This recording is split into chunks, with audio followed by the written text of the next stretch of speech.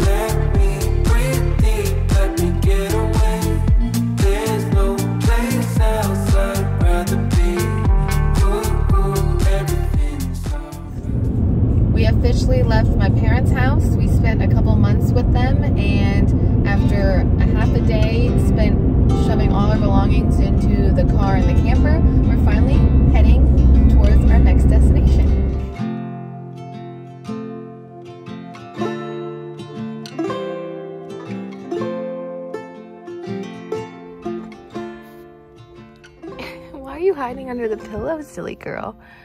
You think we're leaving? All right, we made it to our first stop of the trip. We obviously arrived last night. It's the next morning already, but we arrived when it was dark, so we just um, got distracted setting us up and getting the girls comfortable. Let me show them now, actually. Grace crawled under the pillowcase when she thought we were leaving, so that's a good sign.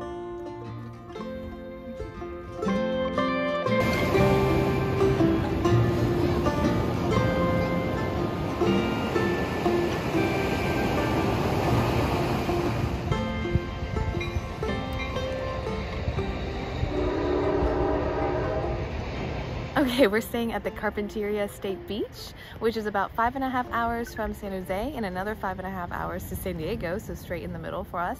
And it was about $72 for one night. It came with electric and water hookups.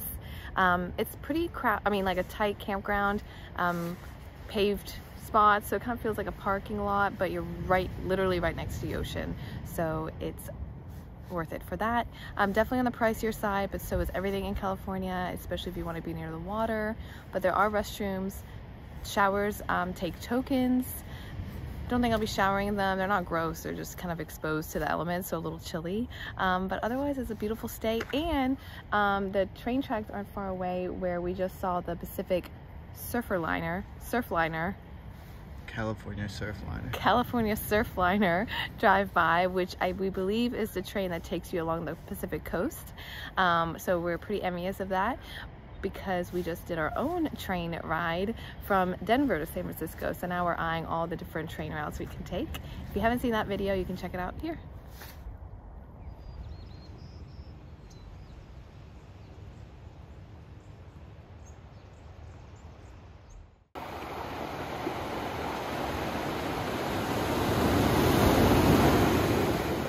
Coming to you live from Carpinteria State Beach, we are walking upon a seal exhibition.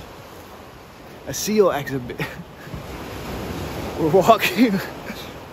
Some seals are supposed to be mating up the road, so we're walking to it. So within walking distance of the campground is a seal sanctuary, and it's next to the old oil refinery pier. It's really cute. A bunch of seals have pups with them, all trying to get in from the waves and just harbor. So check it out.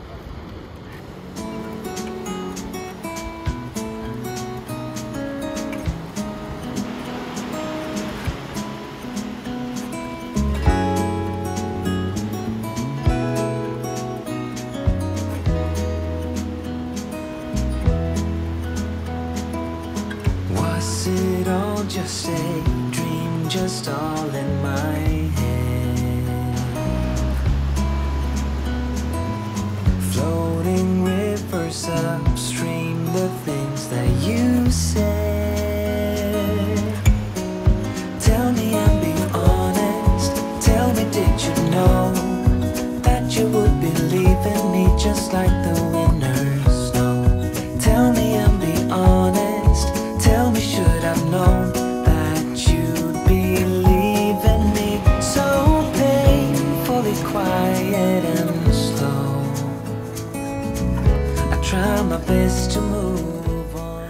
After that lovely walk to see the baby seals, we are now having some breakfast.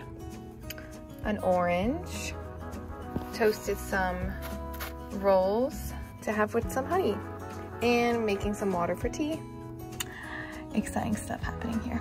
but we have about an hour and a half before we have to check out of here and we're gonna get our money's worth. So we're gonna enjoy some breakfast, hang out, and then get going.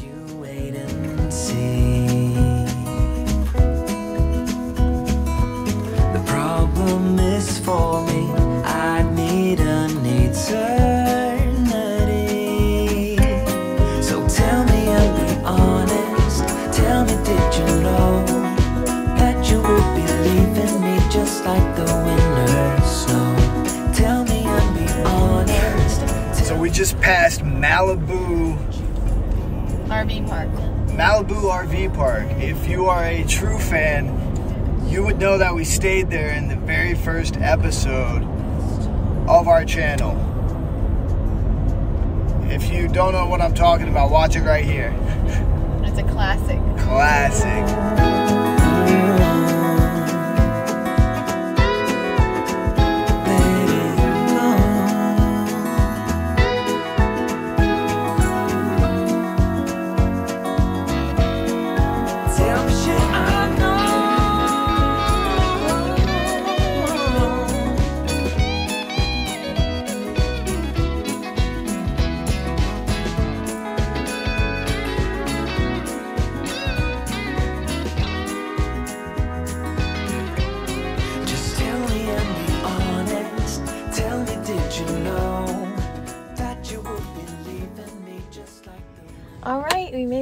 Next destination, San Diego. We are staying in Silver Strand State Beach, right on the beach, pretty much. Like, we're parked here, and the sand is right, right here, and the ocean is right there. So, like yesterday, we were, you know, a little bit away from the beach, in the middle of the parking lot, but now we're on the front, and so it's really exciting. It is more expensive to be so close to the beach, so it's $75 a night. We're gonna stay here tomorrow night as well, but in a different spot, and it's cheaper, obviously, because we're not front row to the ocean.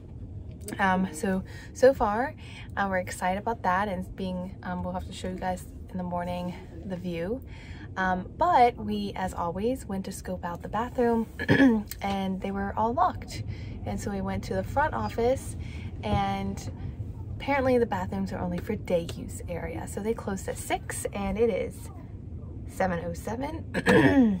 also, they locked the gate here at 7 o'clock so you literally can't leave. Like, you cannot leave or you won't be able to get back in.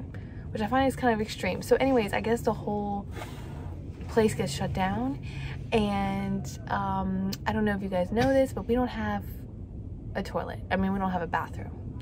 We do have a portable toilet in case of emergencies, but we never use it because we like to stay places where they have restrooms. But apparently here they don't have public restrooms for the campgrounds, so that was fun. So now we were like sh- shamelessly walking back to our camper, realizing this is why there's no other campers in small campgrounds. I mean, in small campers like us, like everyone is in these huge rigs. So if you're staying here, make sure you have your own bathroom or porta potty because you'll need it. And otherwise, it's nice. But I think if we had known that, we wouldn't have stayed here. Anyways, that's our update. We'll show you the beach in the morning.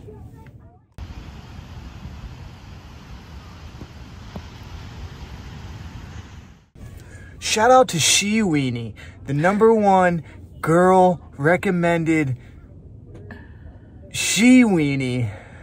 Yeah, okay, full transparency. We actually didn't take our porta potty out and peed in a water gallon jug. So I used my pee funnel that I bought many years ago because I'm obsessed with having a backup and a backup and a backup option in case we don't have a bathroom. And it was successful. So for the ladies out there, buy yourself a she funnel or a pee funnel or a she wee, whatever they're called. You never know when you're gonna need it. No shame.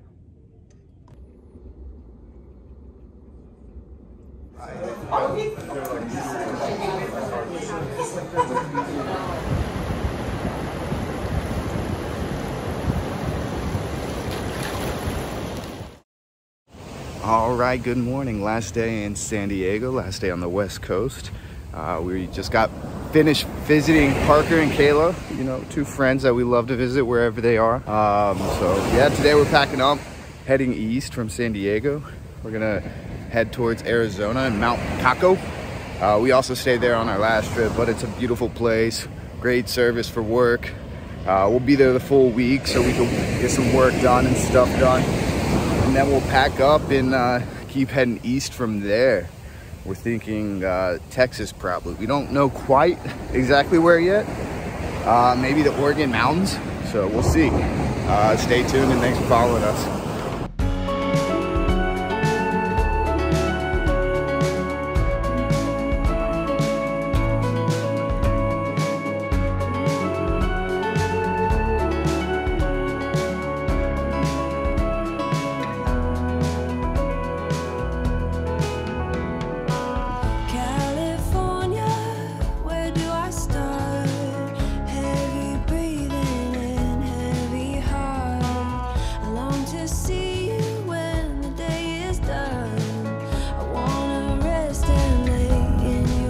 On the road again. We're leaving the West Coast.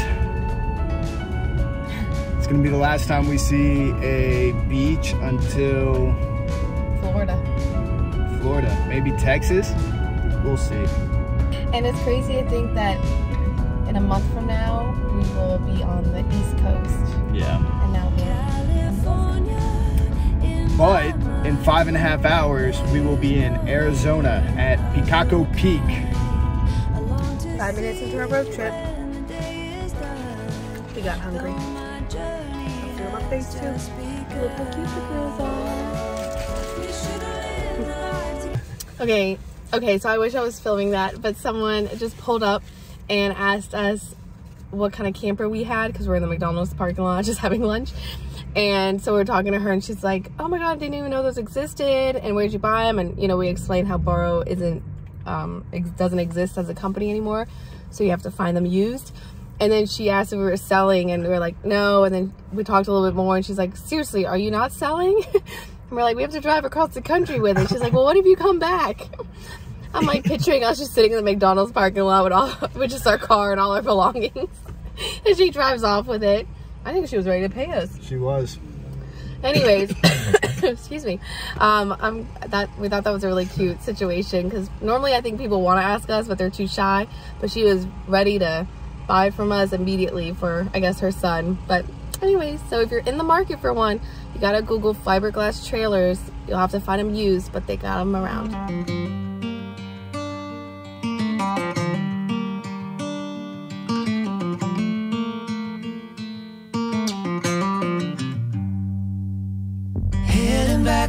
Used to be home. Passing by those little towns I know so well. Stopping for gas and then I'm behind the wheel again. Driving is like a spiritual cleanse where every mile is a new beginning and every bend holds a new end. Eyes on the road, don't lose control. I'm speeding fast to chase my soul. I'm driving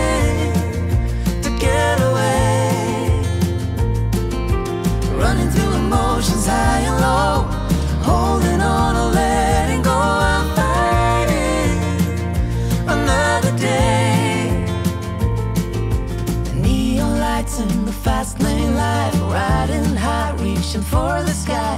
I had it all but lost and fell back down again.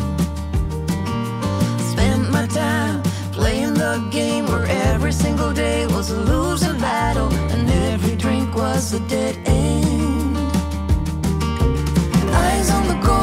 lose control. I'm living fast, I've lost my soul I'm driving to get away. Running through emotions high and low